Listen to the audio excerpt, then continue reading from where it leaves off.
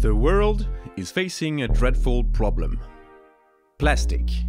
To expand the reach of plastic recycling, some brave initiatives already exist. They developed low-tech and open-source machines to transform this garbage into valuable objects. These machines are amazing and already work, but the bottleneck is sorting plastic. Today, makers use their know-how and some manual trick to sort plastic, but a scientific and affordable instrument is still missing. Few years ago, we decided to build one. This is Ozirma, an infrared spectrometer dedicated to plastic sorting. And it can also be manufactured in a fab lab. Here we have our plastic sample. The sample is illuminated by three light sources. A red LED that is visible and helps us for the optical alignment, a first infrared LED that emits at 1200 nanometers, and a second at 1600 nanometers. We also threw in a 400 nanometers blue-ray laser to play with fluorescence.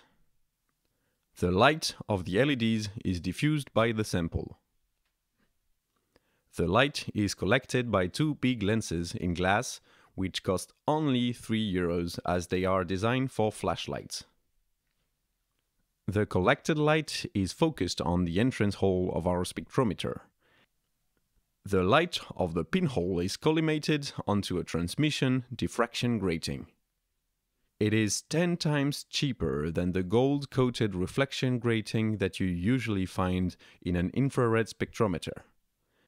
Each wavelength of the spectrum is focused on an InGaAs photodiode mounted on a little motorized translation unit that can compensate for the mechanical bending and misalignments of our 3D printed optical chain.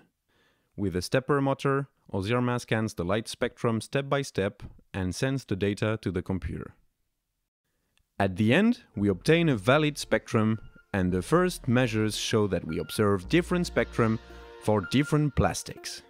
This is still a prototype, but it shows good results even with a BOM cost of 200 euros. Thanks for watching.